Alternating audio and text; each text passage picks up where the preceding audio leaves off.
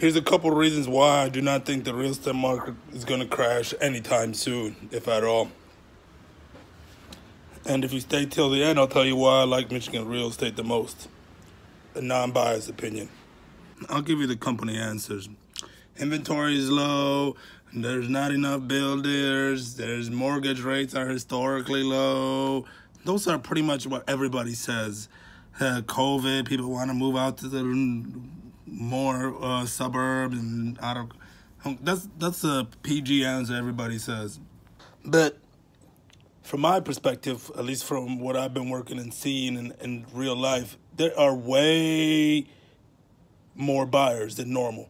Uh, just think about it this way: if are my age, millennials are finally buying homes and they're not scared because they've seen the 09, 08 real estate crash but now they feel more comfortable to buy. So there's a lot more of us than ever before. Population grows, whatever, whatever. So it's just a numbers game. There's way more buyers. Another perspective is if you are selling your house, where like are you where are you gonna live? Are you gonna just buy an apartment? Like you if you're selling your house, you know there's a lot of money, but like you do you want to go through that? So there's a lot more sellers that feel comfortable living where they're at and seeing their money pile up as the real estate market goes up. So I don't think it's crashing anything. It might be slowing down as some of these buyers actually get tired or uh, buy the houses. And there's not there's a, also there's a lot of people that made money during 2020 and all of that. What do you think? That, there's so many luxury items you can buy. Eventually, you're going to buy real estate. That's just the way that investors think. People savvy people think. So that's pretty much why I think the real estate market is not going to crash. If you think I'm wrong, comment below.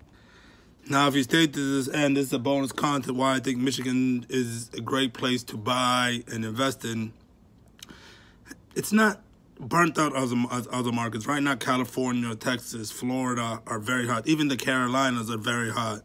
But Arizona is another hot place to go. But why I think Michigan is Michigan has a lot of upcoming because of the weather. We get the best four seasons. You can't you can't complain and some of it's too cold. Uh, no, have you heard of global warming? It's getting pretty warm out here.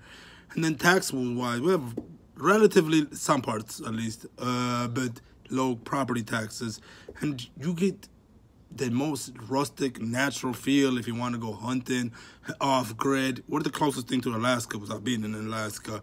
And then the lake scenery, and then politics is pretty down the middle. You can find whatever you your niche is in Michigan. And lastly, but but the people, man, you get good people out here, man. Midwest hospitality. God bless. Peace.